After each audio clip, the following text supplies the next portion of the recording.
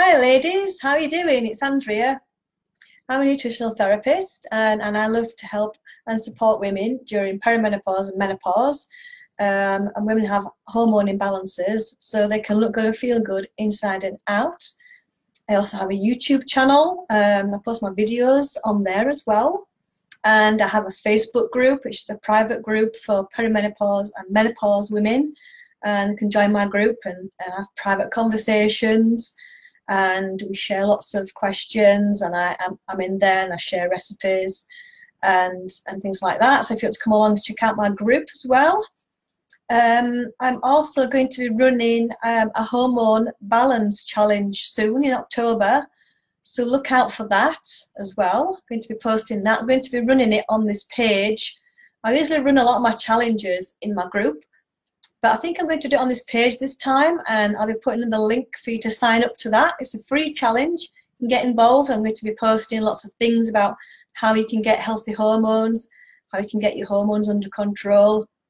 So I wanted to talk to, to you today about how do you know if you've got a hormone imbalance? What are the signs and signals that your body is telling you that you have an imbalance? Because um, I was speaking to a lady the other day and she says, Oh, Andrea, I'm struggling so much. I can't cope today. I'm having a bad day today. My hormones are just all over the place. I've got lots of anxiety. just can't cope. Um, I can't think straight. And then I said to her, I said, Look, you don't have to put up with those symptoms. That is a sign that your your hormones aren't quite right. I mean, in perimenopause, it's hard to create a, a, a really, really good balance because your hormones are all over the place. But there's so much that you can do to help with your scatty symptoms, help with your hormones going up and down and up and down and all over the place. Um, there's so much that you can do, and I work with women to help them with four areas, and that's diet, lifestyle, mindset, and um, exercise. And all these things play a big role in how you go through perimenopause and how you can control your symptoms because I've been there, I've been through perimenopause myself the last 10 years. I know what's been working for me and how you can help. So I put together my hormone reset, it's 30 day hormone reset to set you off on your on your track, set you off to to learn out about these four areas and how it can help you in a massive, massive way. It's a big game changer for lots of women when you work with your hormones, not against them can have a massive difference to your day-to-day life. She may be putting up with period pains, fibroids, heavy bleeding, PCOS, PMS, just before your period starting, you just are feeling really bad and your boobs are aching. You really don't have to put up with all these symptoms, and there's so much that you can do to help them and um, to feel better again and feel more more normal and be able to get through your day without struggling, without dragging yourself through your day and trying to just get on with it. So what are some other symptoms that you can be suffering with that are signs that your hormones are not balanced? Apart from these quite common ones, um, there's lots of other things like um, endometriosis, maybe fibrocystic breasts as well. Um, there's lots you can do to help remedy all those things. And so if you're having lots of problems with your weight, you've tried everything, you don't know what what else to try and you've tried lots of different diets you're exercising maybe you you think that you're eating healthily because I thought that I was eating healthily and then I looked at what I was eating and it wasn't quite that healthy as I thought it was. Because you can be eating lots of health bars lots of foods that say they're, they're good for you and really when you get to, down to the bottom of it sometimes these foods are not that healthy for you. And you may think they're healthy for your friend but you might have some symptoms going on in your body you might have some problems and it's not healthy for you. Um, it's just not working for you it's not working right because every woman's different and you probably need to change the way that you're eating based on your what's going on in your body. So what's working for your friend what's working for them may not work for you. So you can't always follow what somebody else is doing. You have to really tailor it around your what's going on in your body and your symptoms. And I can help you do that in my hormone reset. Another big a big red flag is not just weight gain having trouble losing your weight no matter what you've done tried before is you have lots of digestion issues. Now, this is quite a massive one. Lots of people are suffering with lots of digestive problems now. And a lot of bloating, maybe have some diarrhea, maybe have constipation or a bit of both.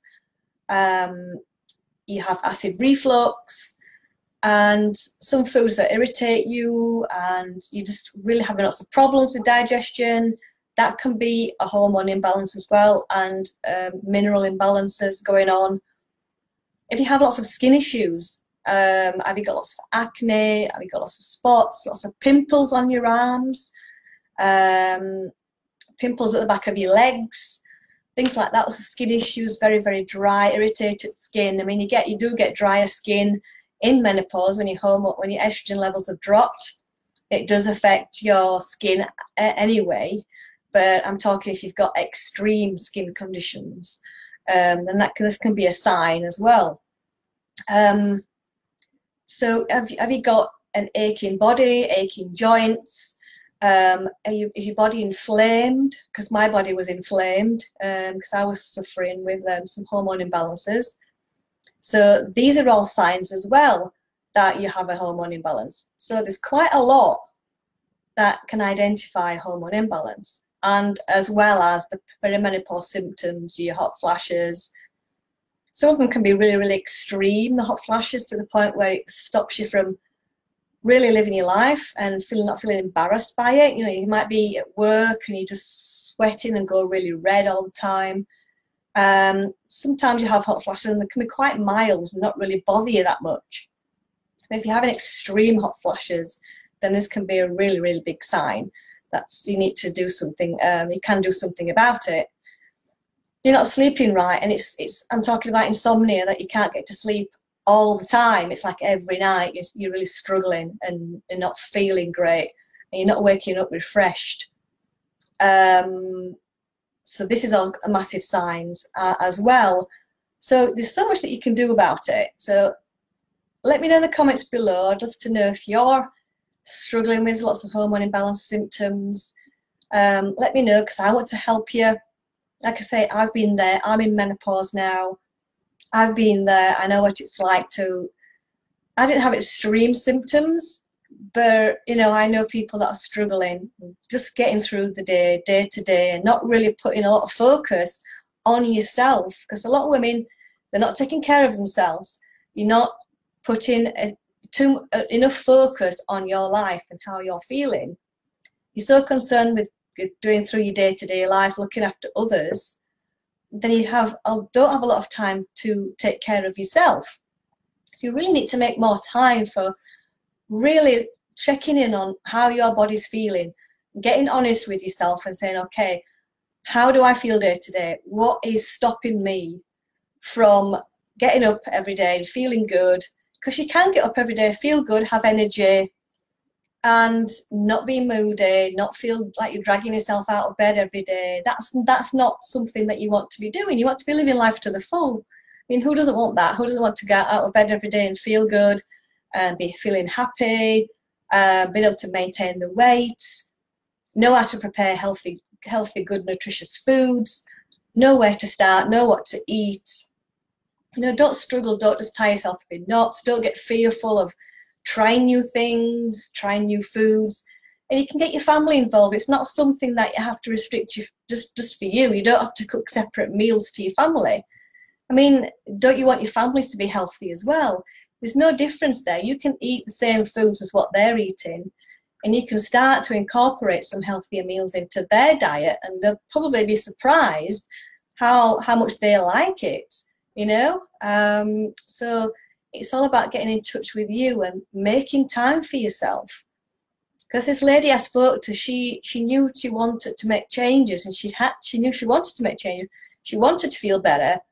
She didn't like struggling every day and not feeling great but she was saying she was going to do that tomorrow and do it tomorrow and today what tomorrow won't be so busy and she just getting through it and just coping with it day after day after day and not really sitting down and saying to herself okay enough is enough. I'm not struggling anymore. I want to get to grips with it. I want to get sorted.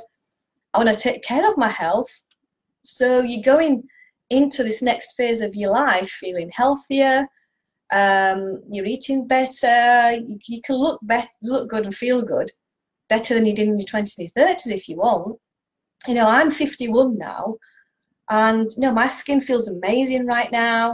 Um, I've got more energy. Um, I'm more aware of how I'm feeling about myself. I'm happier in my skin now. I know more about myself. Um, I've got to know what I don't like and what I like, not taking any shit from anybody, saying, you know, standing up for myself, believing in myself. This is all possible. You don't have to look in the mirror and don't think that you're good enough to look good and feel good inside and out because you do. You deserve to feel better. You don't have to put up with getting older and struggling with the um, these signs of uh, um, sufferings of aging. Um, yeah, so there's so much you can do. If you want to set up a call with me, I'm happy to have a chat with you. If you're interested in my 30 day reset, I'm going to put the link below. And I've also put a free meal guide together to give you a taster of what happens in my 30 day reset, what sort of recipes that are in there. So I'll put the link to that below. Download my free meal plan have a go with it. Let me know how you're getting on with it. Let me know what sort of foods that you like to eat.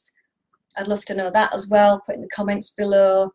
So just let me know how you're getting on and, and what your main symptoms are. I'd love to hear from you. So thanks for watching today and take care and I'll see you again in another video. See you later.